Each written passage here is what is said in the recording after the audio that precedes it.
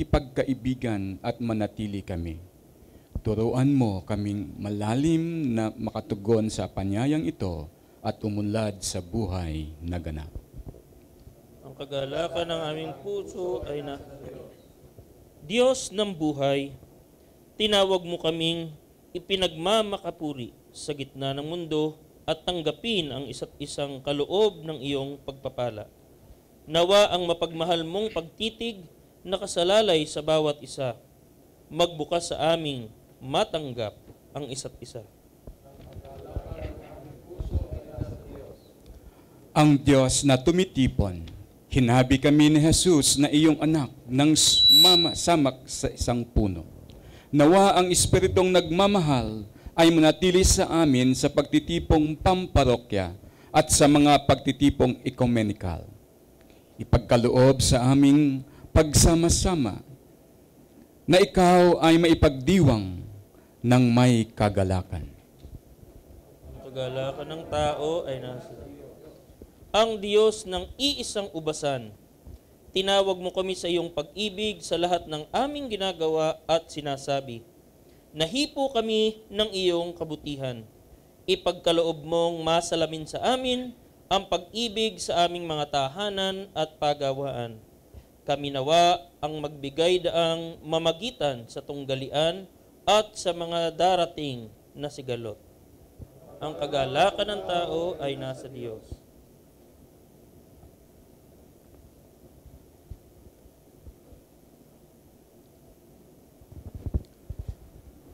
Malimit iniisip nating ang pananalangin ay ang karaniwang ginagawa natin, isang gawaing pansarili. Sa kaunting panahong ito, inaanyayahan tayo sa katahimikan ng kaloob at isang tabi ang mga ingay at kaabalahan ng ating pamumuhay at mga isipin. Ang katahimikan ito ay pagkilos para sa Diyos. Tinawag tayong manatili sa pag-ibig ng Diyos makapahinga sa Kanya.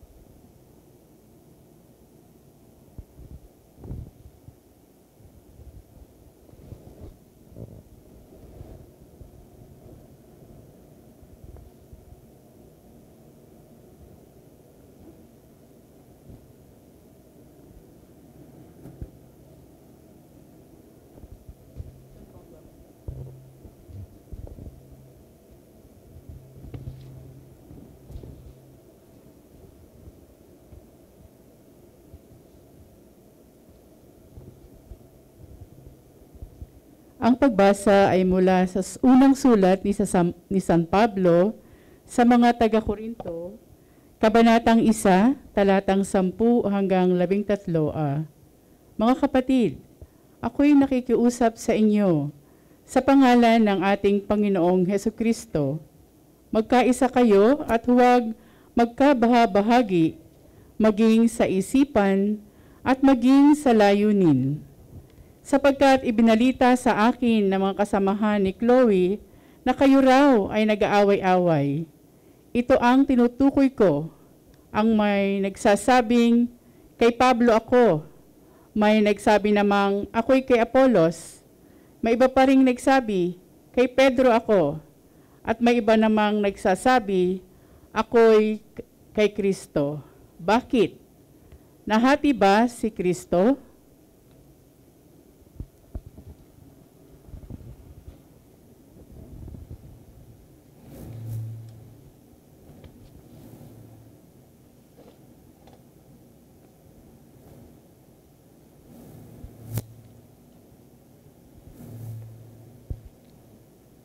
Banal na Espiritu, nilikha at patuloy ang pagbuo ng mga simbahan sa lahat ng dako.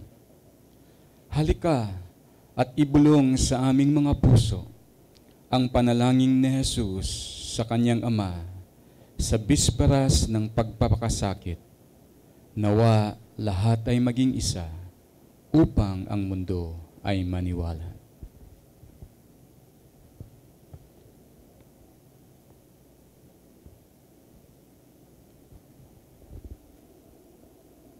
Kiri Eleson, Panginoon, Panginoon, maawa ka.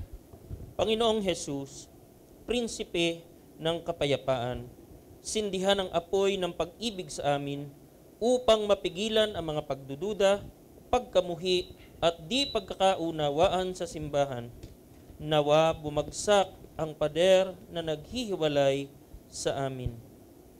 Panginoon, maawa ka. Banal na Espiritu, umaaliw sa lahat. Buksan ang aming puso sa pagpapatawad at pakikipagsundo at ibalik kami sa aming paggala. Panginoong Jesus, maamo at mababang loob, ipagkalob sa amin ang dukhang espiritu upang matanggap namin ang mga inaasahang biyaya. Panginoon, maawa ka. Banal na Espiritu, kailanman di mo kami iniwan, mga lalaki, kababaihan, mga musmos, na pagmalupitan sa kanilang katapatan sa Ebanghelyo.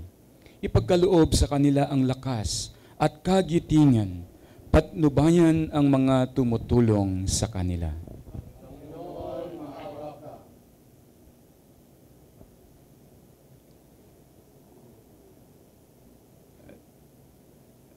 Tinawag tayo ng Panginoon na magkaisa.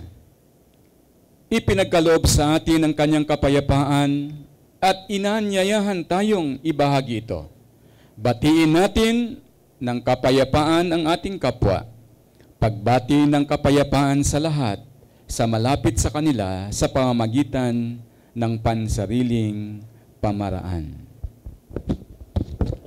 Kapayapaan po sumain nyo. Peace be with you po. Shalom.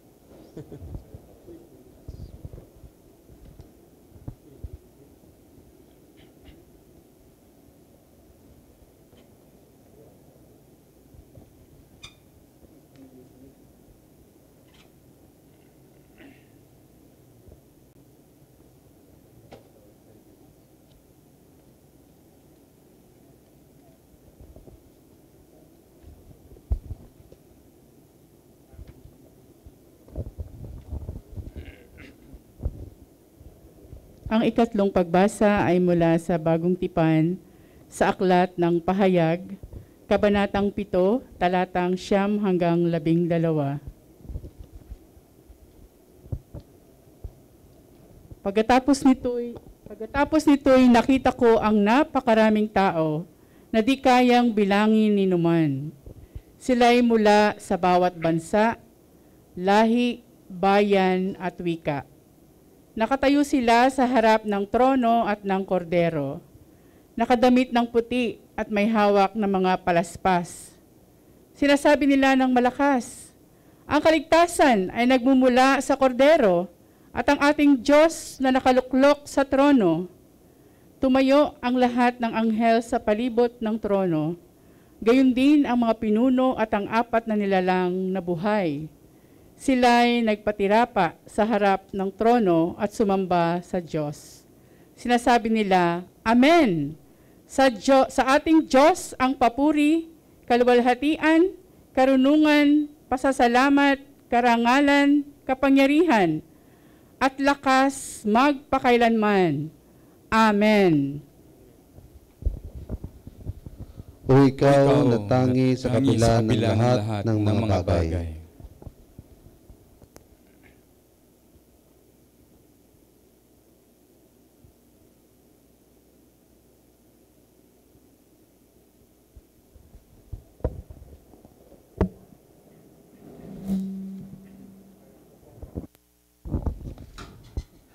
Nais ko pong basahin ang homilya ni Bishop Ray Evangelista ng Imus. Kanya pong kinote, manatili kayo sa aking pag-ibig at kayo'y magbubunga ng masagana. John chapter 15, 5 to 9. Salamat sa Diyos at tinipon tayo ngayong araw na ito para sa linggo ng pananalangin sa ikapagkakaisa ng mga Kristiyano ngayong taong 2021. Salamat sa pakikiisa at presensya ng iba't ibang ecumenical movement at simbahan sa buong Southern Tagalog Region, Batangas, Quezon, Rizal, Laguna at Cavite. Sa United Methodist Church, UCCP, South Luzon, Jurisdiction, UCCP, Middle Luzon, Jurisdiction, Apostolic Catholic Church, Iglesia Filipina Independiente, Iglesia Unida Ecumenical, at sa iba pang kasam kasamang grupo, simbahan sa stream. Ang salita ng Diyos na magiging sentro ng ating pagninilay ay manatili kayo sa aking pag-ibig at kayo magbubunga ng masagana. Ako ang puno ng ubas, kayong mga sanga. Ang nananatili sa akin at ako sa kanya, ang siyang namumunga ng sagana. Sapagkat wala kayong magagawa kung kayo'y hiwalay sa akin. Kung paanong iniibig ako ng Ama, gayon din naman iniibig ko kayo. Manatili kayo sa aking pag-ibig. Ang Diyos natin ay Diyos ng pag-ibig. Ang paalala sa atin ni San Juan, Mga minamahal, magibigan kayo, sapagkat mula sa Diyos ang pag-ibig. Ang bawat umiibig ay anak ng Diyos at kumikilala sa Diyos ang hindi umiibig ay hindi kumikilala sa Diyos sapagkat ang Diyos ay pag-ibig. Kung ang Diyos natin ay Diyos ng pag-ibig at tayo mga anak ng Diyos, pareho ang DNA natin sa DNA ng Diyos. Ang DNA ang pinaka pinagkikilanlan kung ang isang tao ay anak nga ng isang babae o lalaki. Kung paano ang Diyos ay banal, tayong kanyang mga anak ay pwedeng pwede ring magpakabanal. Kung paano ang Diyos ay nag, nakapagmamahal sa sino mang tao, tayo rin ay may kakayanang magmahal sa lahat ng tao. Kung ang Diyos ay Diyos na laging handang magpatawad, Diyos na mahabagin at mawain, tayo rin na mga anak ng Diyos ay pwedeng pwedeng magpatawad kanino man. Pwedeng pwede rin tayong maging mahabagin at mawain sa iba. Ang pamumuhay natin sa pag-ibig ang susi ng maunlad, mapayapa at masayang pamumuhay. Gusto natin ng makabuluhang buhay, meaningful life. Gusto natin ng mabiyayang buhay, grace-filled life or life of full life full of God's blessings. Sa madaling salita, ang gusto ng bawat tao ay maging fruitful, mabunga ang lahat niyong ginagawa. Paano mangyayari ito? Mamuhay at manatili sa pag-ibig. Ang sabi nga ni Santa Teresa ng Calcutta, God pays attention to our love. We can work until we drop. We can work excessively. If what we do is not connected to love, our work is useless in God's eyes. Marami po sa ating nakakakilala kay Father Doming Medina, kura paroko sa parokya ni San Roque sa Cavite City. Hindi ko po binabanggit siya ngayon dahil isa siya sa mga paring Romano-Katoliko at pari natin dito sa Cavite sa Diocese ng Imus. Binabanggit ko po siya dahil bata pa, bata pa lang siyang pari at hanggang ngayon na 78 years old na, nakapambunga, nakapamunga ng kanyang paglilingkod sa Diyos at sa sambayanan mahal niya ang iba't ibang simbahan. Tulad ng Iglesia Filipina Independiente, UCCP, United Methodist Church, Orthodox at iba pa. Nag-rosary for the healing of the world silang sama-sama sa Cavite ilang buwan ang nakaraan. Ilang buwan na ang nakaraan. Ang pagtulong niya sa mga may sakit, nangangailangan ng pagpapahospital, mga kabataan na gustong mag-aral, mga tricycle drivers, mangingisda at mga nasunugan o anumang kalamidad ay puno ng pagmamahal. Masasabi ng sino mang nakakita ng kanyang paglilingkod na talagang namumunga siya ng masagana. Kaya din ba natin yung gi- ginagawa ni Father Doming Medina? Kaya din ba nating mamuhay sa pag-ibig, sa pagmamalasakit sa isa't isa, sa malalim na pagtutulungan at pagkakaisa? Isang dahilan, ang Diyos natin ay Diyos ng pag-ibig.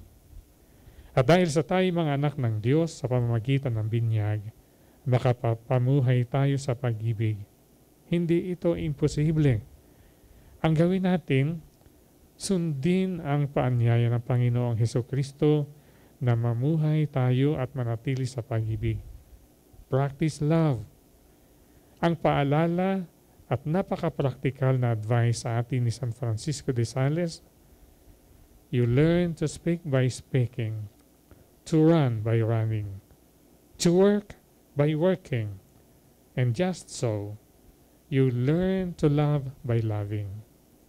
All those think to learn in any other way deceive themselves. Tanungin natin at suriin ang ating sarili.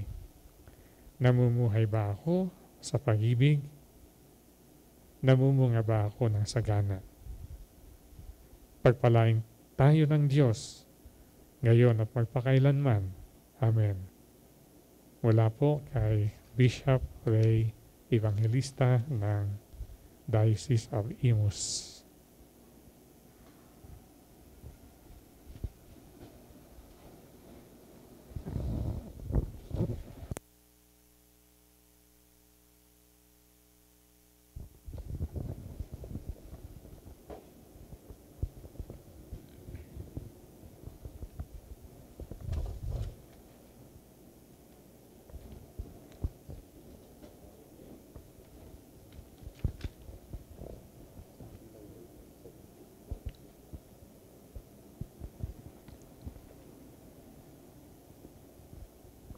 Diyos ng buhay, nilikha mo ang bawat tao sa iyong imahe at kawangis. Umaawit kami ng papuri para sa mga kaloob ng maraming kultura. Pagpapahayag ng pananampalataya, tradisyon at katutubong siyudad.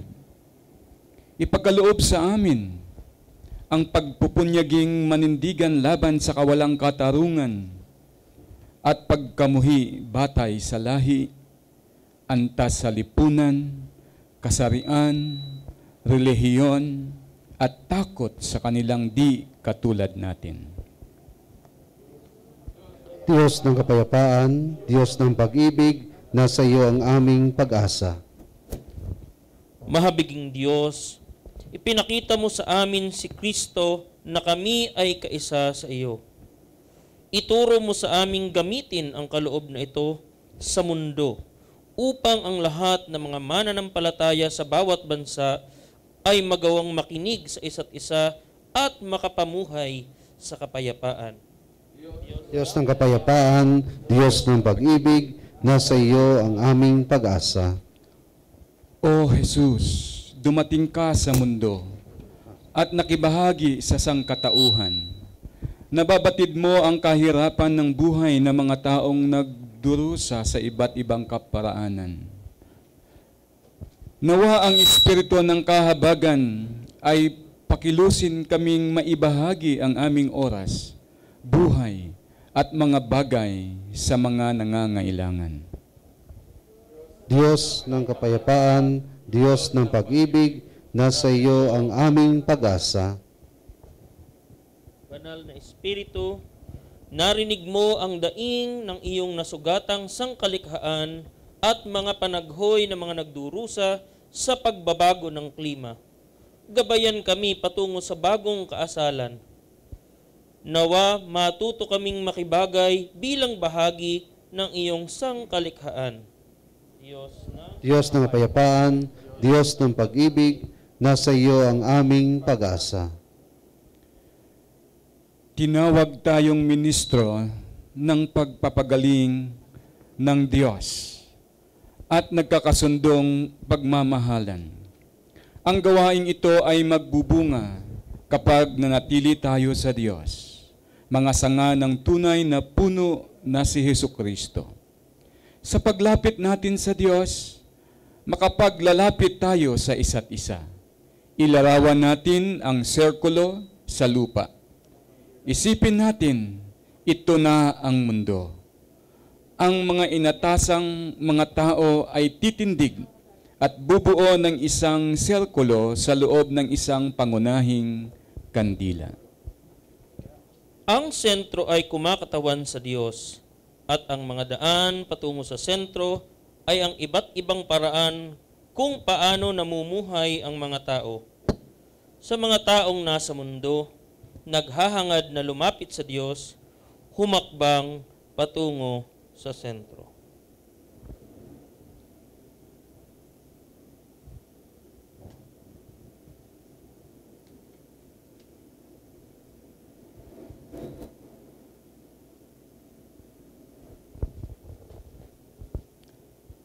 hanggang higit na malapitan ang sentro sa Diyos, palapit sa isa't isa, at sa malapitan sa kapwa, sama-samang kumilos.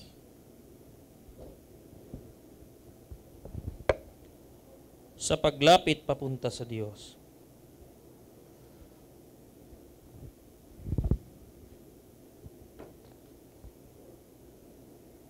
As we gather, may your spirit work within us. As we gather, may we glorify your name. Knowing well that as our hearts begin to worship, we'll be blessed because we came. Because we came.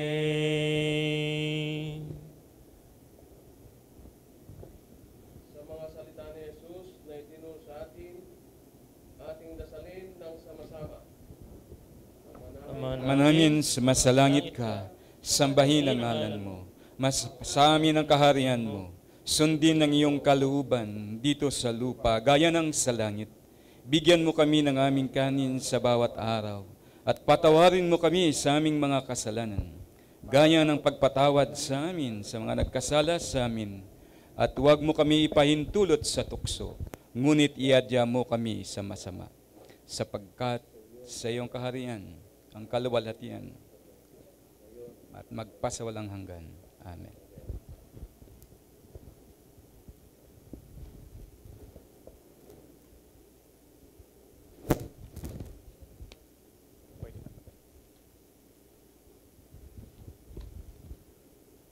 Ang ugnayan ng espiritualidad at pagtutulungan ay hindi mapaghihiwalay. Ang pananalangin at gawain ay magkasama. Kapag nanatili tayo kay Kristo, tinatanggap natin ang espiritu ng kagitingan at karunungang kumikilos laban sa lahat ng uri ng kawalang katarungan at pagigipit. Sama-samang sinasabi, Maghahari ang Diyos sa panalangin at gawain. Imayaan ninyo ang salita ng Diyos, ang hiningang nagbibigay buhay sa mga gawain at pamamahinga. Manatilihin ang panloob na katahimikan sa lahat ng mga bagay upang managang si Kristo. punuin ng Espiritu ang araw, kagalakan, kapayapaan, kahabagan, mga salitang sambit araw-araw ng mga reliyos sa Grand Champ community.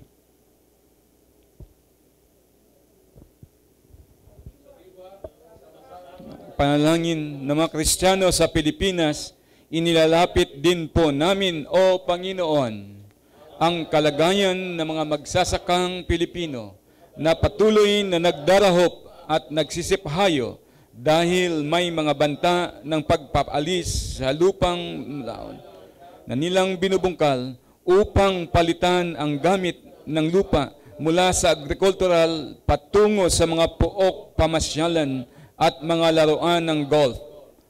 Padaluyin mo po ang iyong kaabagan sa mga nag-aangkin ng kanilang lupang sinasaka, nang sa gayon ang iyong katarungan at pag-ibig ang siyang mangibabaw.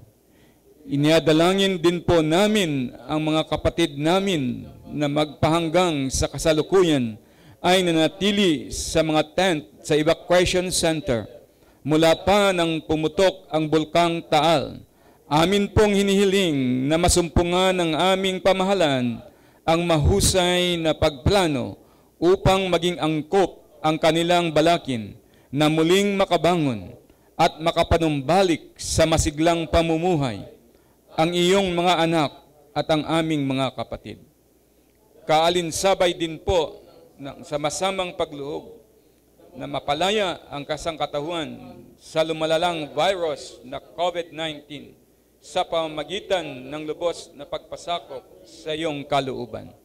Nawa ang aming Paris Ecumenical Affairs Committee ay maging matatag sa pamamagitan ng mga ipagkakaloob ninyong mga manggagawa na magsasakatuparan ng mga sama-samang panalangin at social action sa diwang Kristiyano, kung saan maging bahagi ang mananampalataya upang ang aming pagbabalik loob sa iyong kabanalan ay magdulot ng bagong kaayusan sa pamagitan ng iyong anak at aming Panginoong Hesus. Amen.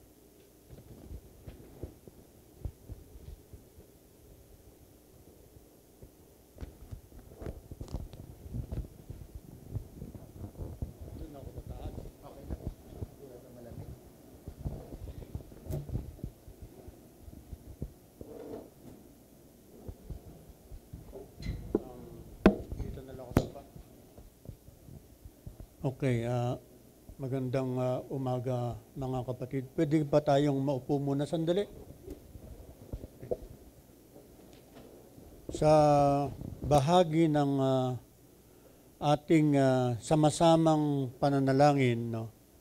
World Day of Prayer for Christian Unity, ay ah, gusto kong ah, bigyan natin ng pansin yung Juan 15, uh, talatang pito na ito rin ang ating teksto. No? Kung, mananat, kung nananatili kayo sa akin at nananatili sa inyo ang aking salita, hingin ninyo ang anumang nais ninyo at ibibigay iyon sa inyo. Dahilan sa ngayon ay uh, World Day of Prayer for Christian Unity ay uh, ating uh, magandang pansinin yung nananatili. No? Ang sinasabi dito sa Juan 15:7 ng ating Panginoong Kristo ay uh, manatili tayo sa Kanya at manatili din tayo sa isa't isa.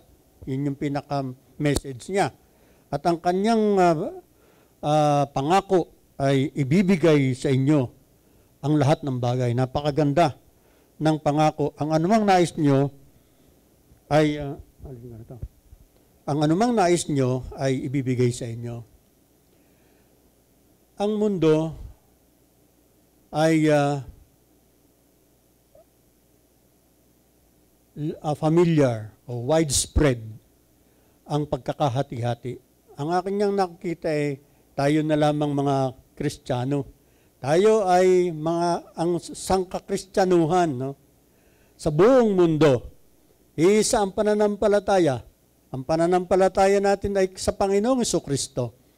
Pero kahit tayo ay huwahiwalay, iba-iba ang mga grupo ng mga mananampalatayang Kristiyano. Kaya dito pa lang makikita natin yung uh, pagkakalayo-layo at pagkakaiba-iba. maganda naman tayo, sa kabila ng tayo ay iba-iba, ay ah, tayo ay ah, nagsisikap sa diwa ng pagkakaisa. No? Sa magitan nitong ah, World Day of Prayer for Christian Unity, na dapat ito ay maituloy. No? Um, maganda yung ah, sa sinabi ni Pope Francis, no?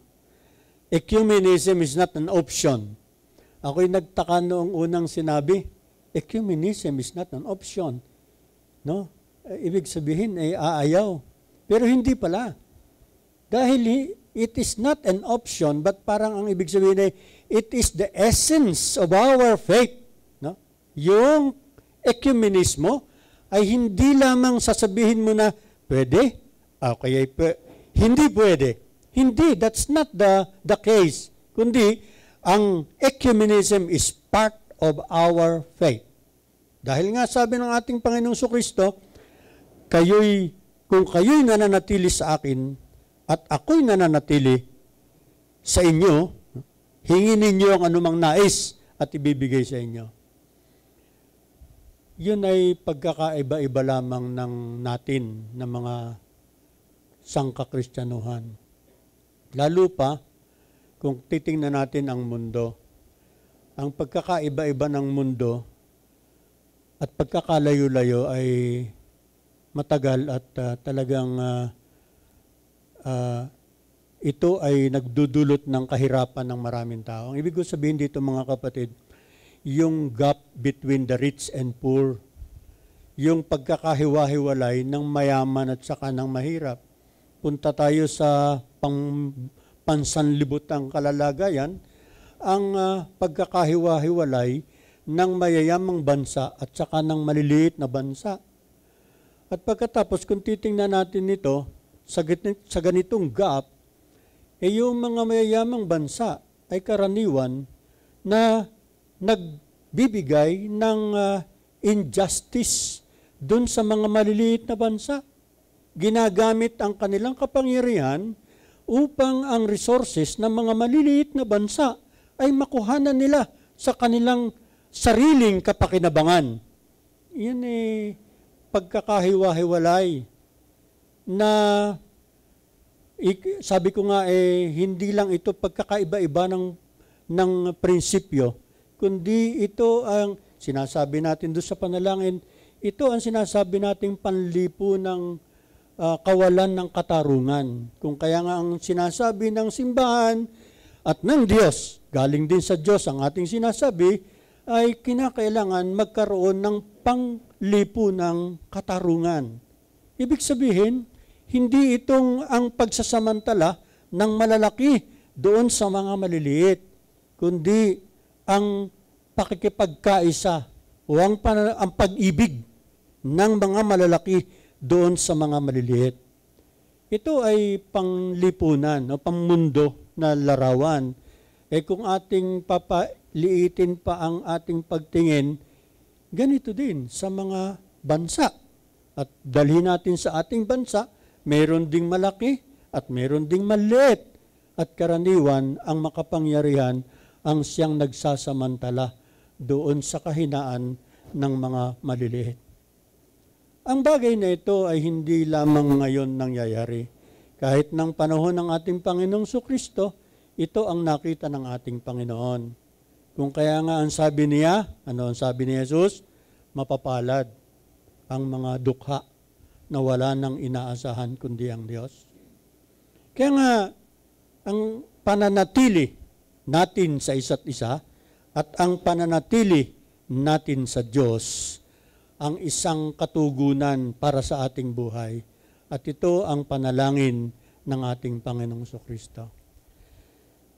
World Day of Prayer for Christian Unity patuloy tayong manalangin para sa pagkakaisa ng Iglesia Kristiyana at ah, pagkakaisa ng buong sangnilikha ng Diyos sapagkat ito ang layunin ng pagkalika ng Diyos sa atin.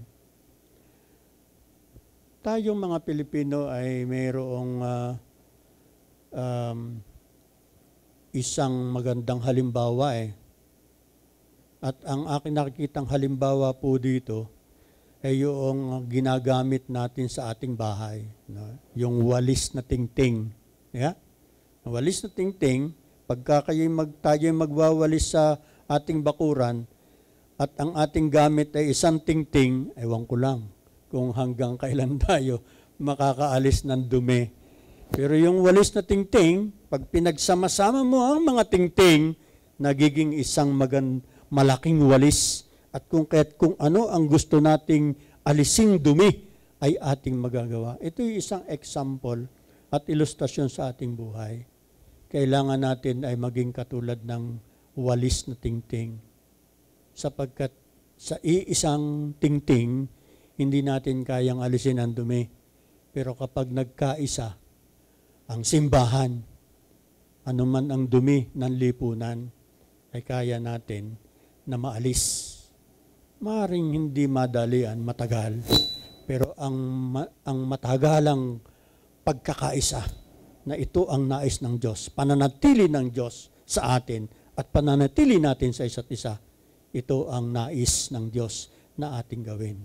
Pagpalain tayo ng Diyos sa ating World Day of Prayer for Christian Unity at nawa lumawig pa ang gawain nating ito. Sa ngalan ng Ama, ng Anak at Espiritu Santo. Amen.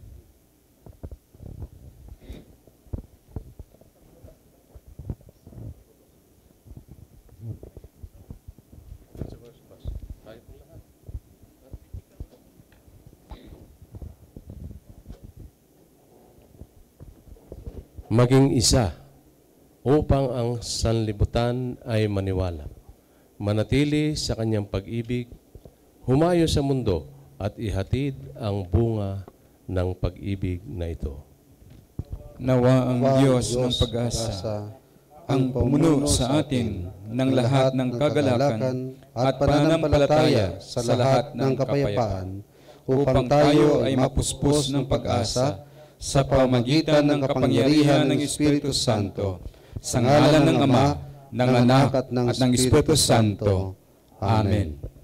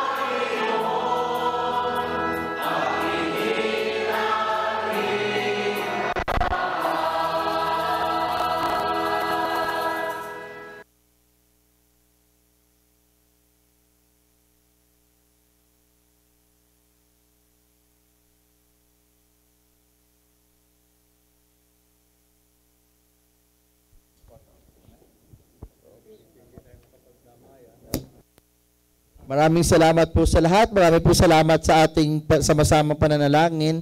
Pero hindi pa po doon nagtatapos actually ang ating programa. Um, meron pa po tayo syempre photo ops natin. Tapos, meron pa po tayo mga ilang mga kaunting discussion po habang tayo rin naman ay naghihintay ng ating tanghalian. Opo.